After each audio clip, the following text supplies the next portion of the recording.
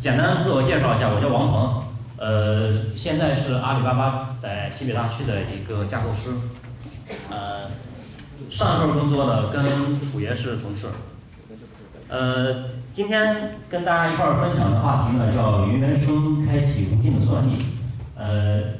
主要呢给大家介绍一下 Service Mesh 和 Serverless，呃，代表了呃两个项目的一个简单的情况。那么我们呃看到左边这张图呢是呃 KK 写的那本著名的书叫《失控》，这本书可能应该有很多呃朋友们都看过啊。呃，KK 呢这本书是二十年前写的，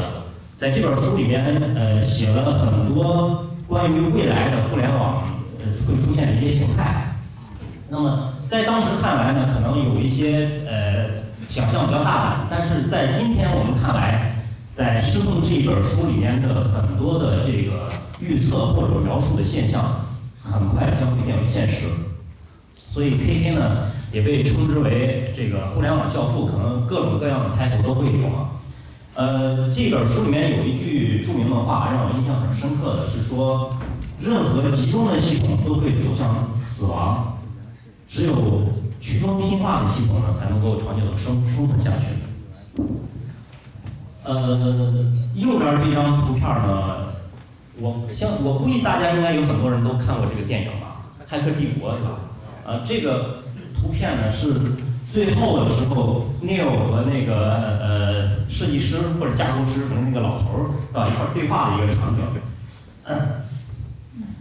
这个图片呢是想说一件事儿，就是首先大家能看到那个系统也是一个非常非常牛逼的。非常非常强大的一个分布式系统，对吧？用了很多非非常非常多的一个计算资源。那么，其实我想说的是什么呢？任何一个分布式系统的背后，都有一个集中式的目标。为什么来说这件事情呢？呃，因为我这几年在这个呃深圳、西安之间跑的比较多。呃，看到了一个情况啊，让我比较担忧，是什么呢？就是我们西安的互联网行业和一线城市之间的距离越来越大，不知道大家有没有这种感受，是吧？我看到有一些朋友在点头，是吧？大家可能有这种感受。那么其实这个事情呢，可能跟我们在座的各位，跟我们大家，包括跟我们的同行，都有非常。紧密的关系，对吧？它会影响到我们每一个人的职业的发展，甚至会影响到我们的生活，对吧？那么，为什么来说这个分布式系统背后有一个集中式的目标呢？是想告诉大家，我们可能在我们的日常工作中，除了写好我们的代码、做好我们的架构以外，要有更多的思考，要考虑一下我们所创造出来的系统。它的背后的业务价值是什么？换句话说，我们 这个屋子里面的人，在未来几年，能不能出现更多的思想领袖，对吧？能不能创造一些这个数十亿、上百亿的这样一些大型的企业？啊，这个是阿里巴巴走到西北来想看到、想做到的事情。那么接下来，呃，来讲一下我们今天所说的这个，呃，讲到这个主题啊，就是，呃，我们的每一个公司的业务方都会有对于 IT 呢都有这么几个诉求，我一般称之为多快好省。呃，简单看一下，第一个呢就是我们的新业务能够迅速的上线，那么这这个新业务呢包括包括两种，第一种呢是说我们可能新建了一个系统的全新的一个业务。这是一种，第二种呢，是我们一个既有的系统在上面迭代出来新的功能，这也是这是另外一种，而且，呃，从我们的行业来看呢，可能第二种占的比例会更高一些，而且，第二种呢，也正是我们所说的，比如说我们的微服务啊，各种各样的这样一些先进的技术所能够支撑这样的一个场景。那第一种的话，可能比如说我可能简简单单做一下就好了，我没有必要去。用一个很复杂的技术栈实现一个很简单的功能，对吧？第二个呢，就是我们系统的一个稳定的运行。那我们今天讲的是云原生。那么云原生技术本身呢，它是基呃本身我们我们先解释一下云原生它是干什么？它是一种方法。那么这个方法呢，它是为了去最大化的发挥计算云计算的这个能力和它的所带来的好处的，对吧？那我们基于云上部署的这个环境呢，我们今天能够看到的是，包括我以呃根据我以前的这个呃工作以往的经历相对比，能看到的是云上的这个系统。至少从主机、从数据库这些层面上来讲，包括存储这个层面上来讲，要比我们在 IDC 里面的系统稳定的多。大家虽然也能看到，可能 过一段时间，然后报了个新闻说什么阿里云出了什么问题，对吧？然后再过一段时间，报了个新闻说 AWS 又丢数据了，对吧？啊再过一段时间，又可能出现了这样那样的问题。但是呢，呃，我不知道。有没有人就是基于 IDC 的这个方式去构建这个系统啊？在以前的时候，我们基于 IDC 的这个环境去构建系统的时候，可能对于有一些环境来讲，每个每每一个年度里面出现宕机几次，可能是还挺常见的一个事情。第三个呢，就是说支撑我们的业务的快速增长这块呢，主要指的是说，我们现在在云原云原生的技术底下。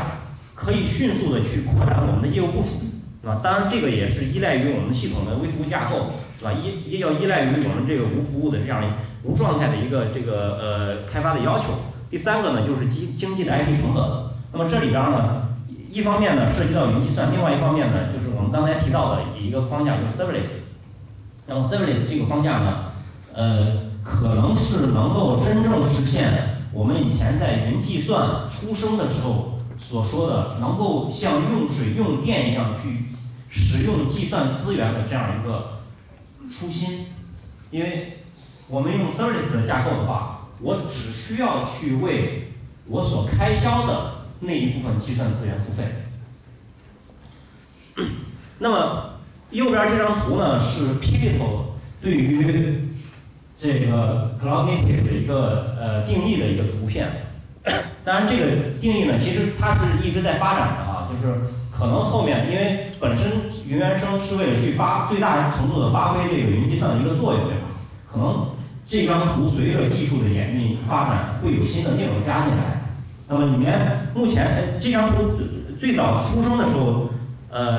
有四个方面，第一个呢就是微服务，第二个呢是容器化，第三个呢是这个呃持续交付以及 DevOps。我们先讲一下我们刚才提到的 Service Mesh。那么以前我的有几个朋友啊，也是我们西安的朋友，然后呃，经常会问我在 K8s 上能不能运行 Spring Cloud 全家桶啊？这个这个问题是我改过的，我不希望这个我的一个朋友康说，哎，你帮我拿你的话拿去跟大家讲啊，是问题是我改过的，但是不止一个人问过我类似于这样的问题。那么首先来回答这个答案哈，大家能看到左边那张图哈，能够清楚的，其实可以清楚的告诉我们，Spring Cloud 可以运行在 K8s 上面，对，啊，但是它呢可能要做一些调整。那么 Spring Cloud 运行在 K8s 上会遇到一些什么样的问题呢？其实更多的要解决的是 K8s 和 Spring Cloud 重叠的那一部分的功能。右边这张图呢，是我们在做微服务架构的时候呢，所要关心的一些问题。那么，呃，Spring Cloud 呢，其实，在前面这一段时间的发展过程中啊，呃，以前几年的时候，也有很多的这个系呃微服务的系统是基于 Spring Cloud 去构建的。但是这几年呢，大型的微服务的系统都会逐渐向 K8s 这个框架去靠拢啊，因为它比 Spring Cloud 更适合去运行一个大规模的一个微服务式、微服务架构的一个系统。那么，在这个条件底下，K8s 本身存在一些这个缺陷或者不足的地方，它在一些方面的能力上面呢，还存在一些缺陷。所以呢，后来出现了 Service Mesh 这样一个呃架构。那么，在 Service Mesh 发展的过程中呢，比如说最早的时候出现过 Envoy，对吧？出现过这个 linker 的，呃，还出现过很多一些其他的这样一个呃 Service Mesh 的一些这个架构。那最近几年呢，Issue 这个架构呢，基本上已经呃看起来占了这个我们 Service Mesh 架构的一个大大半壁的一个江山了。那这个 Issue 这个架构呢，里面它提供了这个四个主要的功能。第一个功能是呃 Connect，第二个功能呢是 Secure。然后后面呢是 control，还有 obverse，然后这四个功能是做什么呢？它其实大部分都是基于网络层的。第一个功能呢，它主要是实现了这个服务的访问连接的这样一个功能。它跟 TPS 相比呢，有一些什么样的优势呢？我们都知道 K8s 的话，我们要访问后面的 pod，实际上是通过前面的，可以通过前面的 service 去做一个代理，对吧？但是呢，如果我们要实现多版本的应用的时候，这个时候 K8s 的支持是不够的。那么 Issue 本身呢，在它的 service 底下是可以去挂多版本的。那么基于这个技术呢，我们很容易的实现去可以实现多版本的应用，包括灰度发布啊等等这样一些功能。这个功能呢，对于我们想要实现的，比如说不停机的部署啊等等呢，都是非常非常有用的。第二个呢是安全，安全这一块呢，对于云原生的，对于原生的 K8s 来讲呢，基本上是没有这项能力的。那么 Issue 呢，它通过 Sidecar 的模式，可以去控制每一个 Pod 的流量，把每个 Pod 的流量全部都截持过来，通过 Sidecar 的方式呢去做转发，去给它做代理。那么天然的呢，这个 Issue 就可以去控制每一个访问。那么实际上，它通过了一个 CA 的方式呢，保证每一次服务被调用或者服务之间调用的时候呢是安全的。那么其实，在二零一九年呃三月的那次技术雷达峰会上，技术雷达是这个呃 TW 这个每年都会发布两次的一个技术的一个洞察吧，呃已经把 Issue 呢变呃作为它的一个呃。这个提倡的一个技术架构之一了啊，包括我们后面要讲的 Knative，在今年上半年的这个技术雷达里面呢，也都是有提到的。那么现在除了 Issue 本身提供的 安全的功能以外啊，呃，已经有很多的这个第三方的一些开源的这个框架能够去支持 Issue 的安全这一块事情了。有兴趣的话，大家可以查一下。最新一期的这个技术雷达的一个报告啊，里面已经有一些呃关于 issue 安全方面的一些方法或者一些组件。第三个呢就是 control。我们知道 K8s 的另外一个比较大的缺陷呢，就是它在服务的这个熔断限流方面呢，其实是具有限先天性的这这样一个不足的。那么 issue 呢，也是通过它对于流量的劫持呢，来完成这样一件事情。最后一件事儿呢，就是对于微服务的这个监控，对于微服务的一个追踪。我们知道，这个在一个分布式的系统里面，有一个非常大的一个呃需要做的一件事儿呢，就是能够定位我现在的服务在哪里，走了哪一条，走了哪一个服务器等等这样一个功能。在 K8s 的时候呢，它对于这个呃服务的监控这块儿呢也是有，但是呢做的比较薄弱啊，所以现在 Issue 呢可以提供。这四块比较完整的功能，那么本身不管是 K8s 也好，还是 Issue 也好，它也还不是一个足够完善的一个东西。那很多大厂呢都会在 Issue 上再去做自己的定制化的开发。比如说第一个呢就是腾讯，那么原本 Issue 这个东西呢是嫁接在或者说它是生长在 K8s 之上的，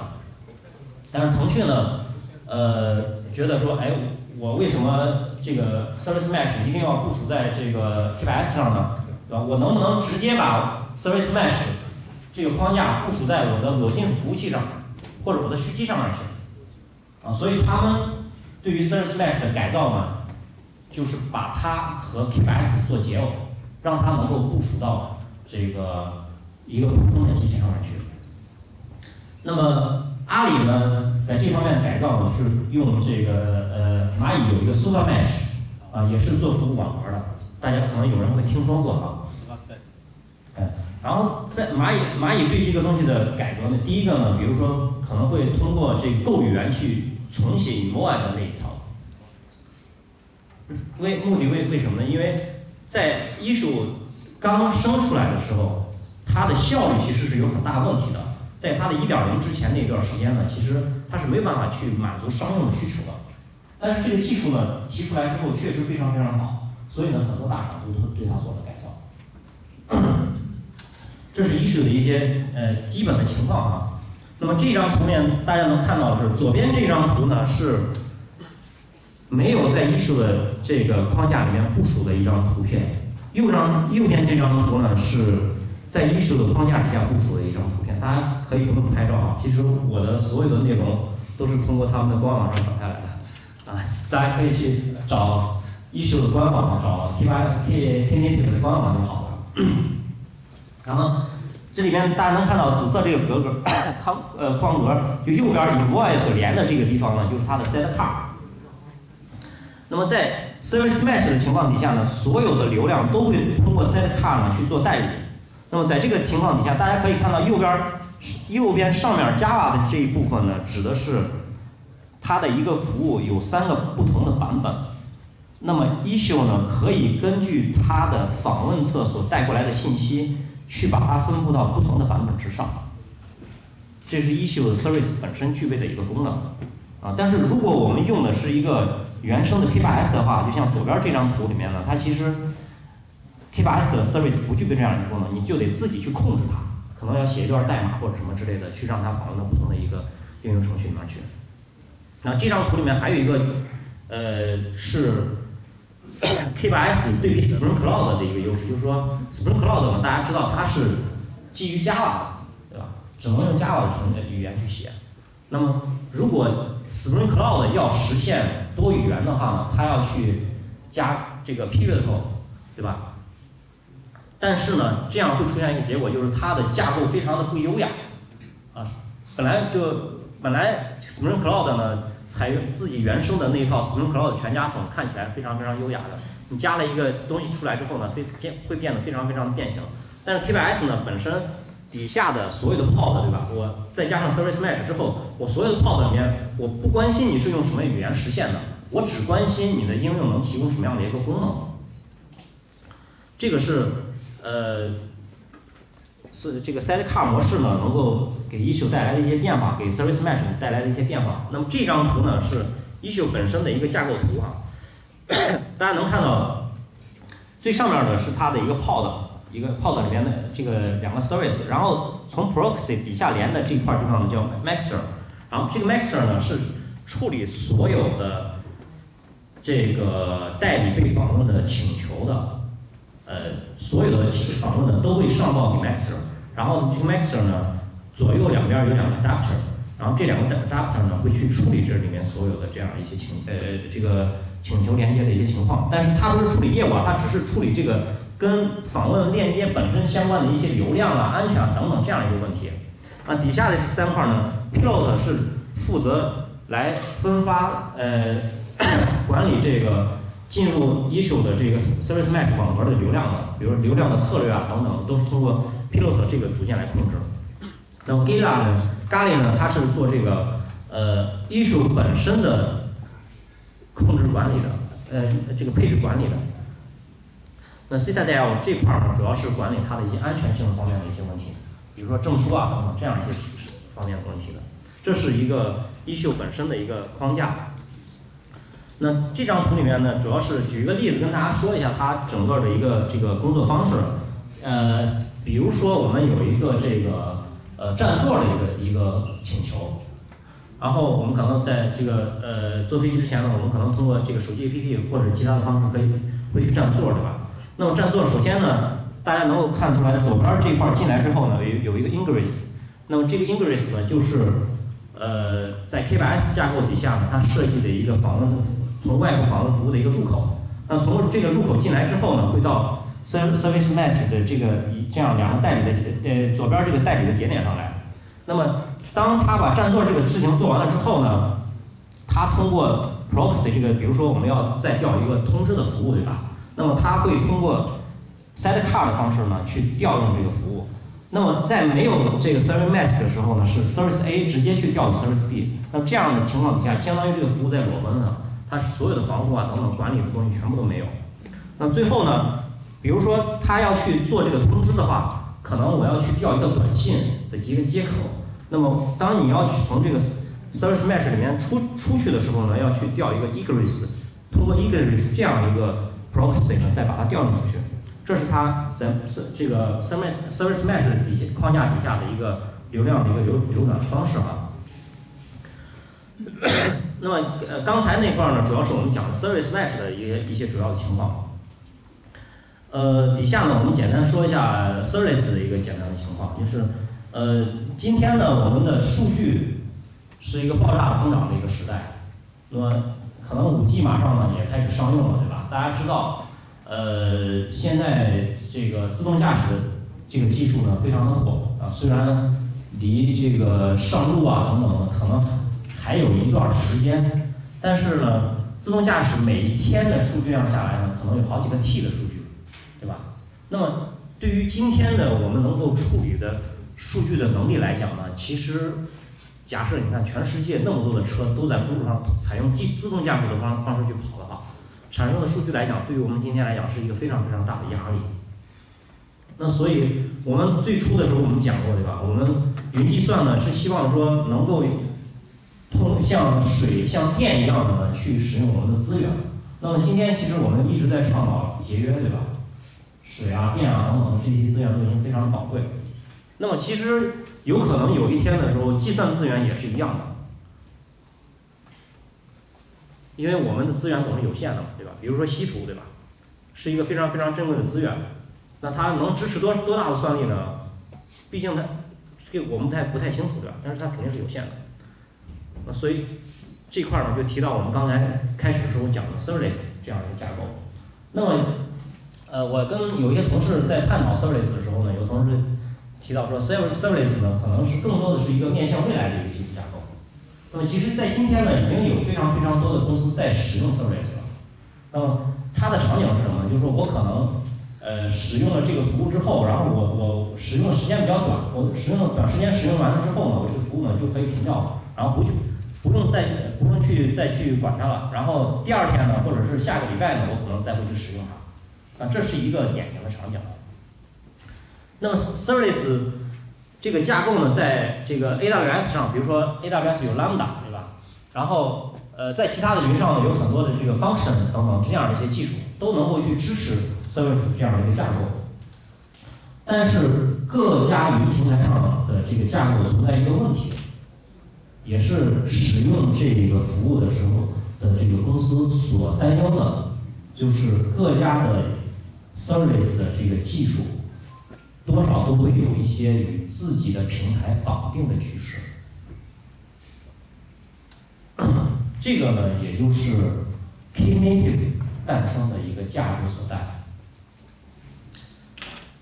那么 Knative 这个 单词呢，这个单词呢是一个希腊语，它的意思呢是按钮。然后底下呢是代表 Knative。主要做的两件事情，一件呢是 serving，一件呢是 eventing。在这个 Knative 最早设计的时候呢，它还有一个职责是 building。呃，在前一段时间呢，一方面是这个谷歌觉得说，呃，building 这件事儿跟 service 本身不应该绑在一起，对吧？building 的时候呢，它主要是去构建表，我去打一个这个 Docker 镜像出来。那么这个跟 Service 本身呢没有特别强的一个关系。另外一个呢就是有另外一个非常强大的，比这个它的 Building 强的一个组件出事了，然后呢导致可能它的这个生存空间受到了挤压哈，所以在 Knative 里面呢就把这块给去掉了。那么现在 Knative 里面呢主要就是一个是 Serving，一个是 Eventing。Serving 呢其实就是说简单的解释一下，它可以基于我们打好的一个 Docker 镜像。然后去做弹性化的部署，啊，最多呢可能可以按照你所在的这个云平台的这个这个呃能力呢去做这个弹性的呃，比如弹起来，对吧？最少呢它可以缩到零，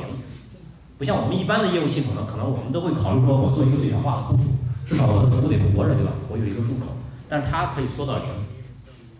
这是 Service 它的一个 Serving 这块的一个呃简单来讲它的一个功能。然后 Eventing 呢，它主要是因为大家都知道 Service，比如说 Lambda 或者 Function 等等，它有个触发机制，对吧？它是靠事件去触发的。那么 Knative 呢，它提供了很多的这个 Eventing 的一个一个方式，比如说我我是定时的，对吧？或者我是通过一些这个消息队列，然后上报上来的一些消息的，或者我是通过一个 T HTTP 的请求等等多种多样的一个非非常丰富的一个方式。呃，那么其实今天的 Knative 这块儿呢，在阿里云上的情况是还在测试阶段。因为 Knative 本身说说实话，这两个功能看起来呢稍显薄弱，跟前面我们讲到的 Service Mesh 跟前面讲到的 Service Mesh 跟 E 种相比起来呢，这两个功能还是稍显有些薄弱的。那么，因为它这个可能实现的难度没有 Issue 那么高啊，所以现在在整个行业里面也有也是有非常非常多的这个 K 这个呃 Service 的一些架构的，大家有兴趣的话可以在网上找一找。但是呢。Knative 这个技术呢，已经这个呃各个大厂都在去研究它，可能会成为后面后续的这个呃跟平台解耦的一个 service 技技术的一个方向。那么这个呢，就是它是呃呃 Knative 能够提供的一些特性。第一个呢，就是说它可以通过非常多的方式去触发它，这刚才我们也讲讲过了。第二个呢，就是。呃，K 原生的 Knative 呢，它是基于 Kubernetes 和 Issue 的，在这两个平台之上，所以呢，正是因为它是基于 KBS 的，所以它有第三个特性，就是 Knative 呢，它可以在这个多云的环境下去部署。那么提到多元部署这个事情呢，我们可以多说两句啊。呃，今天的应用呢，我们已经基本上都朝着计算和存储分离的方向去发展了。那么，如果我们一个应用只有计算没有存储的话，我们用多云的环境其实是非常适合的，或者说影响对于我们的应用本身影响是非常小的，包括对于我们的运维来讲，对吧？因为我只有一个这个计算，对吧？我只要把镜像推到这个平台上面去，它就能够很好的去帮我做这个事情。但是加上了存储之后，这个事情就变了，是吧？如果要用多云的这个环境的话，那你就得考虑到多云之间的它的存储的这样一个读取的效率，包括多云之间网络环境打通的这样一个这个工作。当然，今天呢，其实，呃，不管是国外的 AWS，还是国内的阿里巴巴，还是这个腾讯云，包括华为云，从这个道义上来讲，或者法律从法律上来讲呢，他们都不能阻止客户去。把客户在不同云端的这个资源拉通，就是必须能够支持客户去做这样一件事情。虽然能够支持，但是呢，毕竟你的这个存储是放在两个不同的机房，对吧？所以计算起来的话，依然是会有很多的问题。啊，所以多云的架构呢，看起来很美丽，但是使用的时候呢，一定要谨慎啊。就我们西安呢，有一些有一些这个比较大的呃互联网公司。在他们的这个这个系统架构里面呢，可能很少看到多云的这样一个架构。当然，这个里面呢，并不是说他们只使用了一家云厂商的这个资源啊，因为这里面有很多，比如说我的这个计算资源，对吧？我的存储资源等等的这些东西呢，我可能是要去考虑的。但是，比如说 CDN，对吧？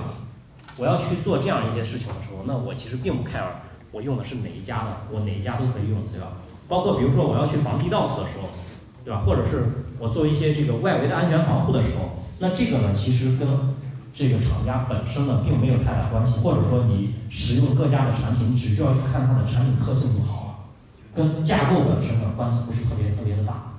所以大家如果后面有考虑这个多云战略的时候呢，一定要去就是在计算存储这一部分呢，要去多注意一下。如果是独立系统，那就无所谓了，不，其实就不存在说我多云还是这个单云的问题了，对吧？你就可以认为它其实是一个单云的架构。那么这个是呃 Kubernetes、Knative 和 Issue 的一个这个结构的一个关系啊，都在都在官网上，都在官网上能找到。然后呃，大家能看到是 Knative 这一块呢，它是基于 K8s 的，然后但是呢，它也是可以通过 Service Mesh 呢，去把它的这个能力和服务呢提供给外部的。那么 Issue 呢，本身它是在网络层的一个东西，所以呢，它是离客户访问层最近的一个东西，在最上面的。这是整个 Knative 的一个简单的介绍。呃，Talk is cheap, show me the code。我今天没办法给大家说 code。但，但是我简单跟大家说一下，就是如果我们要去做这个，呃，云原生的部署，对吧？我们要去用容器化的时候呢，简单的一个学习的路径。因为，嗯，我在，因为我们服务的这个西安的企业非常非常的多哈，我发现我们西安其实在这个云原生这一方面，其实普及率还挺低的。然后可能有有很多朋友说，我想用这个 K8s 或者什么之类的，但是真正动手的少，让他把它用作这个商用系统的呢更少。那如果我们要想要去这个用呃云原生的一个架构呢，我个人觉得就是你今天的话，你肯定不会是说单独用 Docker 去搞定搞定这样一件事情，对吧？你至少要用到，比如说你的系统比较简单的话，你可能要用到这个 K8 Kubernetes 这这个级别上面去。那么其实 Docker 这一层呢，大家就是可以广泛的了解一下，但是重点一重点一个呢，就是 Dockerfile 这个呢，大家一定是一一定要去仔细研究的一个工具。那么 Kubernetes 里面所有的这个特性呢，建议大家都是就是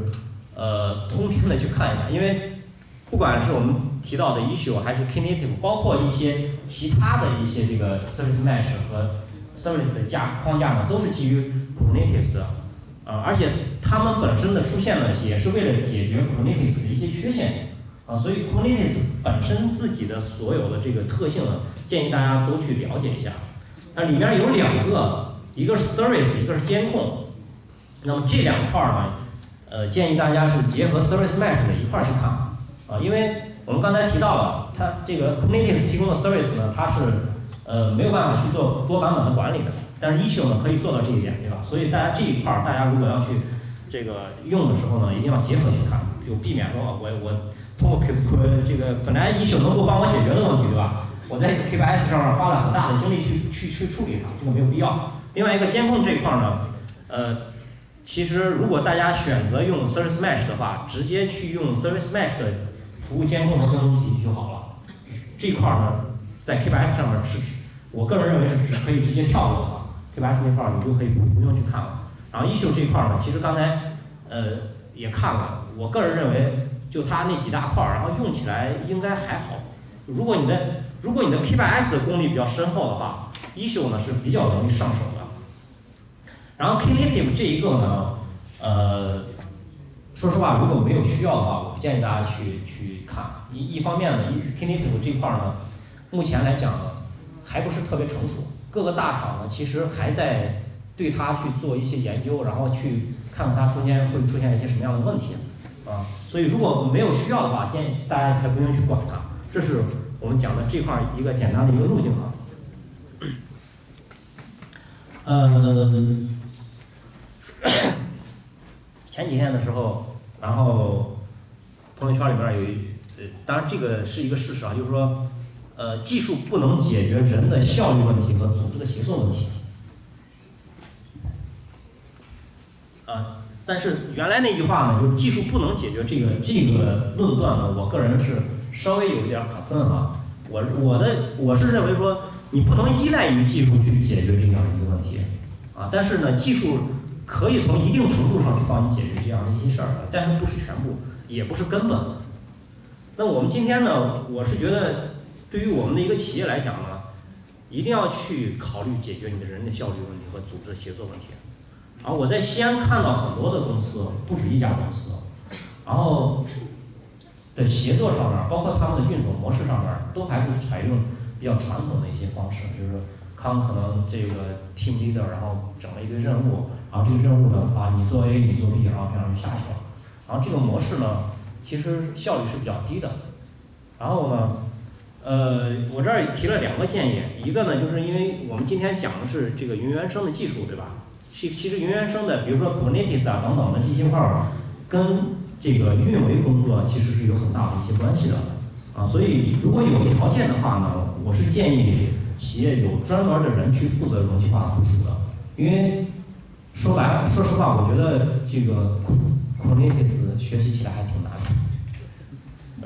就是有一点，就是学习曲线还挺陡的，啊，所以包括你比如说我要去写一个 Docker file，对吧？那其实也是有一些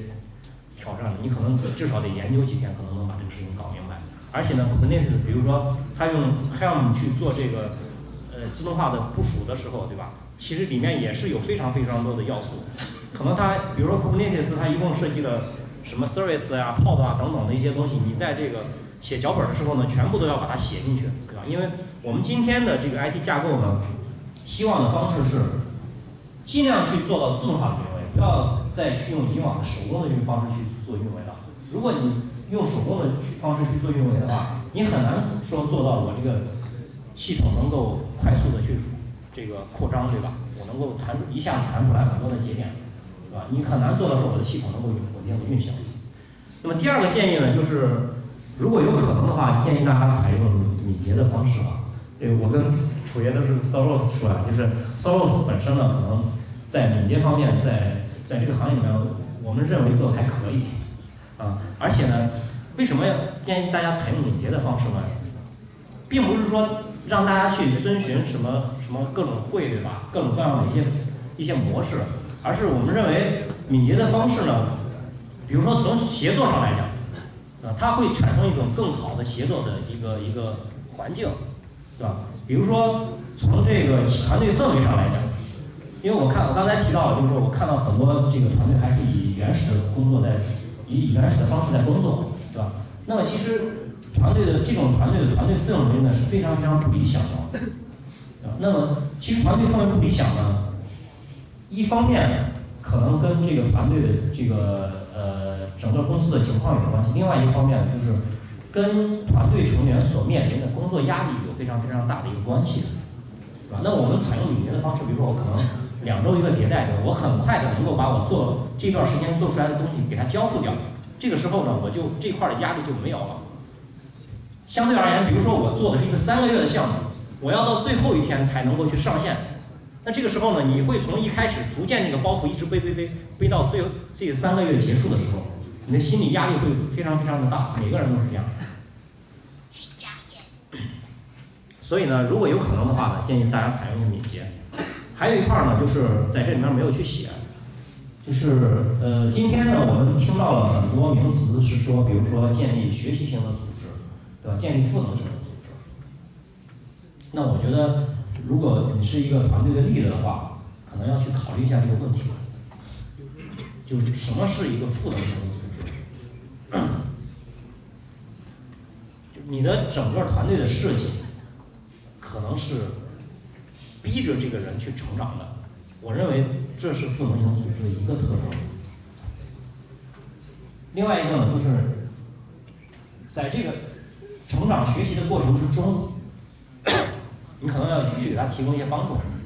对吧？让不要让组织的运行机制，对吧？比如说财务报销啊等等这样一些事情，成为你这个组织运转效率中的一些瓶颈点，对吧？让大家觉得啊，我报销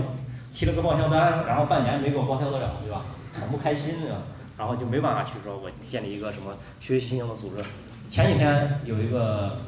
呃西安的一个这个公司，然后这个公司呢是做区块链的，然后呃做了一个就是